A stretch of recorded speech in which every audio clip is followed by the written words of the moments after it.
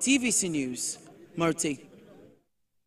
National Chairman of the All Progressives Congress, Abdullahi Ganduje, and Imo State Governor Hope Uzodinma were earlier today in Yobe State, the mission to flag off the party's campaign for the forthcoming Yobe East senatorial by-election in seven local government areas of the state.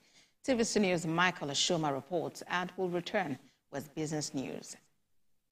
The APC National Chairman, Abdullahi Ganduje, and Chairman of the Progressive Governors Forum, Hope Uzodinma, touched down at the Yobe State Cargo International Airport in Kalalawan village. They have come to the venue of the flag-off campaign for the Yobe East Senatorial by-election.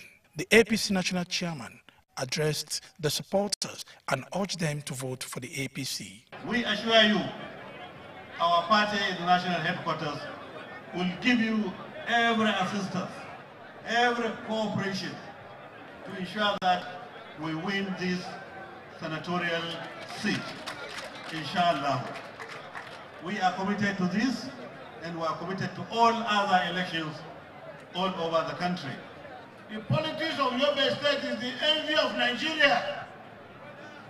Never in the history of any state in Nigeria have we seen the level of political harmony in Yobe State. Political class here is a family. The political party is also a family. The government is a family. Therefore, we cannot alter a winning team. You are winning. And I wish you that you continue to win by the grace of God.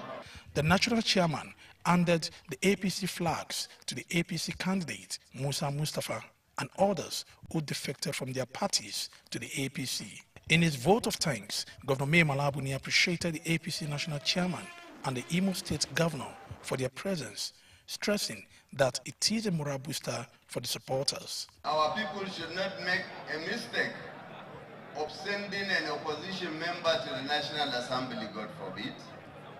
Inshallah, this election is won by what I have seen, by the presence of the national leaders who are here to give us moral support. The Minister for Police Affairs, former Senate President, and former Inspector General of Police were present at the event. Seven local government areas are expected to participate in the senatorial by-election. Michael Ushoma, TVC News, Damaturu Yobe State.